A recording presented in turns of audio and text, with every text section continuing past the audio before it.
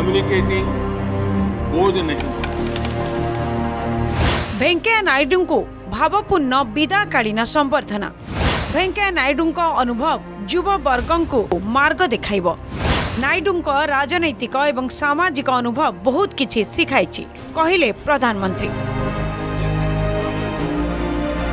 ଦେଶର ଉପରାଷ୍ଟ୍ରପତି ତଥା ରାଜ୍ୟସଭାର ଅଧ୍ୟକ୍ଷ ଏମ୍ ଭେଙ୍କୟା ନାଇଡୁଙ୍କୁ ସୋମବାର ରାଜ୍ୟସଭାରେ ବିଦାକାଳୀନ ସମ୍ବର୍ଦ୍ଧନା ଦିଆଯାଇଛି ଏହି ଅବସରରେ ପ୍ରଧାନମନ୍ତ୍ରୀ ମୋଦି କହିଛନ୍ତି ଆଜିର ଯୁବପିଢ଼ି ଏବଂ ବିଶେଷ ଭାବରେ ଯୁବ ରାଜନେତାମାନେ ସମାଜ ଦେଶ ଓ ଗଣତନ୍ତ୍ର ବିଷୟରେ ନାଇଡୁଙ୍କ ଠାରୁ ବହୁତ କିଛି ଶିଖିପାରିବେ ତାଙ୍କର ଅନୁଭବ ଆମ ଯୁବବର୍ଗଙ୍କୁ ମାର୍ଗଦର୍ଶନ କରିବ ଏବଂ ଗଣତନ୍ତ୍ରକୁ ଆହୁରି ମଜବୁତ କରିପାରିବ ବୋଲି ପ୍ରଧାନମନ୍ତ୍ରୀ କହିଛନ୍ତି नई पीढ़ी के साथ आपका एक निरंतर कनेक्ट बना हुआ है और युवाओं को आपका मार्गदर्शन भी मिला है और युवा भी आपको मिलने के लिए हमेशा उत्सुक रहे हैं ନାଇଡୁଙ୍କ ସଂସଦୀୟ ନୀତି ନିୟମ ପରମ୍ପରା ମଧ୍ୟରେ ଅତ୍ୟନ୍ତ ଶିଷ୍ଟ ଭାବରେ ନିଜ କଥାକୁ ପ୍ରଭାବୀ ଢଙ୍ଗରେ ରଖିବାର ଶୈଳୀ ସର୍ବଦା ପ୍ରେରଣାଦାୟୀ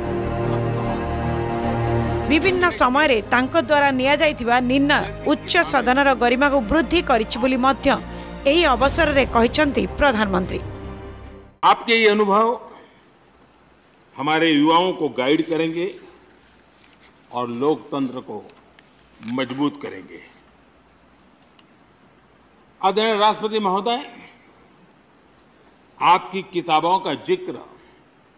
मैंने इसलिए किया क्योंकि उनके टाइटल में आपकी वो शब्द प्रतिभा झलकती है जिसके लिए आप जाने जाते हैं ଭେଙ୍କୟା ନାଇଡୁଙ୍କୁ ଭାବପୂର୍ଣ୍ଣ ବିଦାୟକାଳୀନ ସମ୍ବର୍ଦ୍ଧନାରେ ସଂସଦରେ ସମସ୍ତ ଦଳର ସାଂସଦମାନେ ମଧ୍ୟ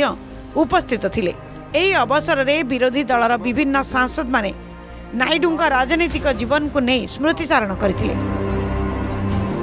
ବିଶେଷ ଭାବରେ ଦେଶର ରାଜନୀତି ପ୍ରତି ଭେଙ୍କୟା ନାଇଡୁଙ୍କର ଅବଦାନକୁ ମନେ ପକାଇଥିଲେ कांग्रेस सांसद तथा विरोधी दल नेता मल्लिकार्जुन खड़गे। आपके लिए नए हाउस नया रहा है नहीं हम लोग नए हैं। 19 सालों तक आप राज्यसभा में सांसद रहे, आपके साथ हमारे लगाव का एक दूसरा भी कारण है, जो मैंने पहले ही बताया कि तीन बार राज्यसभा के सदस्य आप चुने गए। कर्नाटक से ସୂଚନା ଯୋଗ୍ୟ ପଶ୍ଚିମବଙ୍ଗର ରାଜ୍ୟପାଳ ଜଗଦୀପ ଧନଖଡ଼ ଦେଶର ଚଉଦତମ ଉପରାଷ୍ଟ୍ରପତି ଭାବରେ ନିର୍ବାଚିତ ହୋଇଛନ୍ତି ସେ ଉପରାଷ୍ଟ୍ରପତି ନିର୍ବାଚନରେ ମିଳିତ ବିରୋଧୀ ମେଣ୍ଟ ପ୍ରାର୍ଥୀ ମାର୍ଗାରେଟ୍ ଆଲଭାଙ୍କୁ ପରାଜିତ କରିଛନ୍ତି ଏବଂ ଜଗଦୀପ ଧନଖଡ଼ ଅଗଷ୍ଟ ଏଗାରରେ ନୂତନ ଉପରାଷ୍ଟ୍ରପତି ରୂପେ ଶପଥ ନେବେ ବ୍ୟୁରୋ ରିପୋର୍ଟ ଆର୍ଗସ୍ ନ୍ୟୁଜ୍